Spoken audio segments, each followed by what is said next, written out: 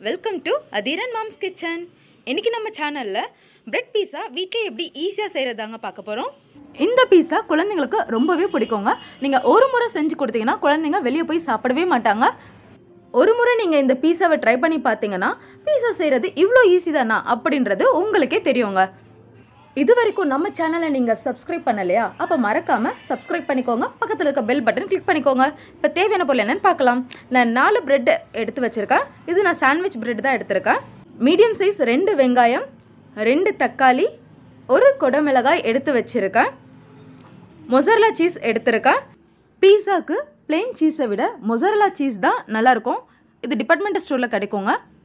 Butter தேவையான அளவு எடுத்துக்கலாம். ஒரிகானோ ஒன் டேபிள் ஸ்பூன் எடுத்து வச்சுருக்கேன். Mixed herbs one tablespoon எடுத்துருக்கேன்.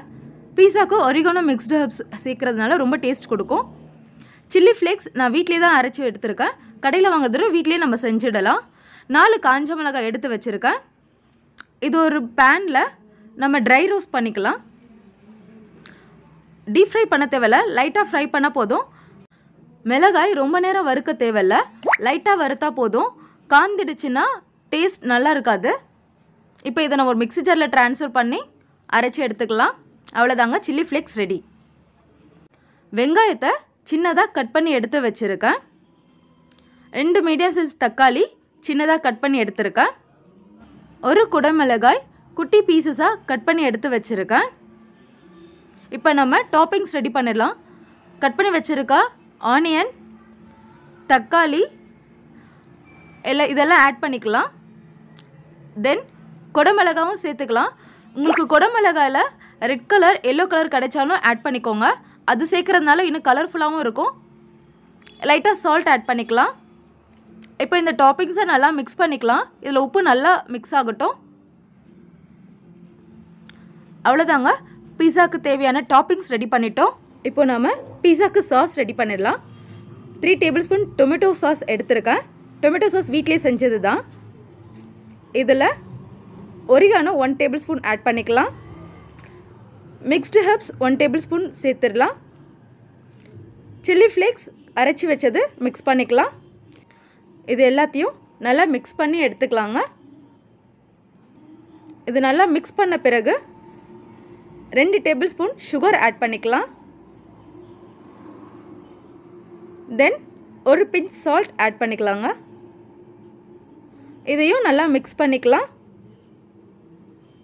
அவ்வளோதாங்க பீஸா சாஸ் ரெடி ஆகிடுச்சு இப்போ நம்ம ப்ரெட்டில் பீஸா சாஸ் அப்ளை பண்ணிக்கலாம். ப்ரெட்டில் சாஸ் நல்லா ஸ்ப்ரெட் பண்ணி விட்டுறலாம். இதில் நம்ம ரெடி பண்ணி வச்சுருக்க டாப்பிங்ஸ் ஆட் பண்ணிடலாம். உங்களுக்கு குடமிளகாயில் ரெட் கலர் எல்லோ கலர் கிடச்சிருந்தா அதையும் ஆட் பண்ணிக்கோங்க. கிடைக்கலனா ஸ்கிப் பண்ணிவிடுங்க இப்படி செய்கிறதே நல்லா தான் இருக்கும். சீஸ் ஆட் பண்ணிக்கலாம். மொசர்லா சீஸ் நான் துருவி வச்சுருக்கேன். உங்களுக்கு எந்த அளவுக்கு சீஸ் தேவையோ அந்த அளவுக்கு நீங்கள் குவான்டிட்டி ஆட் பண்ணிக்கலாம். ஒரு பேனில் பட்டர் ஆட் பண்ணிக்கோங்க. பட்டர் நல்லா மெல்ட் ஆகட்டும். பட்டருக்கு பதில் நீங்கள் கீ ஆயில் எது வேணாலும் ஆட் பண்ணிக்கலாம். இந்த பட்டரில் ப்ரெட்டை டோஸ்ட் பண்ணி எடுத்துக்கலாங்க. ஃபைனலாக நம்ம சில்லி ஃப்ளேக்ஸ் ஆட் பண்ணி க்ளோஸ் பண்ணிக்கலாம். கொஞ்சம் நேரம் கழித்து பார்க்கலாம். சீஸ் நல்லா மெல்ட் ஆகிடுச்சு ஓவர் குக் பண்ண தேவையில்லைங்க. ஓவர் குக் பண்ணிட்டோன்னா சீஸ் இன்னும் நல்லா மெல்ட் ஆகிடும் இந்த ஸ்டேஜ்லேயே வந்து நம்ம பீஸா எடுத்துடலாம். அவ்வளோதாங்க ப்ரெட் பீஸா ரெடி ஆகிடுச்சு பாருங்கள் பார்க்கவே எவ்வளோ எம்மியாக இருக்குல்ல. இப்போ நெக்ஸ்ட்டு இன்னொரு ப்ரெட்டை நம்ம இதே மாதிரி ஆட் பண்ணிக்கலாங்க. பட் இந்த தடவை என்ன பண்ண போகிறோன்னா ப்ரெட்டை வந்து இதிலே ஃபஸ்ட்டு டோஸ்ட் பண்ணிவிட்டு டாப்பிங்ஸ் ஆட் பண்ண போகிறோம் இந்த ப்ரெட்டை ஃப்ரண்ட் அண்ட் பேக் சைட் லைட்டாக டோஸ்ட் பண்ணி எடுத்துக்கலாங்க. இப்போ டோஸ்ட் பண்ணிட்டோம். இதில் நம்ம பீஸா சாஸ் ஆட் பண்ணிக்கலாம். மீதி எல்லாமே நம்ம போன ப்ரெட்டுக்கு எப்படி ஆட் பண்ணமோ அதே மாதிரி ரெகுலராக ஆட் பண்ண வேண்டியதாங்க. எடுத்து வச்சுருக்க டாப்பிங்ஸ் ஆட் பண்ணிக்கலாம்.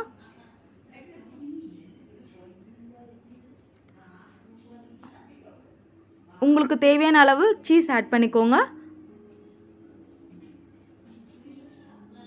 தென் இதில் சில்லி ஃப்ளேக்ஸ் ஆட் பண்ணிக்கோங்க. நீங்கள் காரம் அதிகமாக சாப்பிட்ற மாதிரி இருந்தீங்கன்னா சில்லி ஃப்ளேக்ஸ் நிறைய ஆட் பண்ணிக்கோங்க. இல்லைன்னா லைட்டாக ஆட் பண்ணால் போதும்.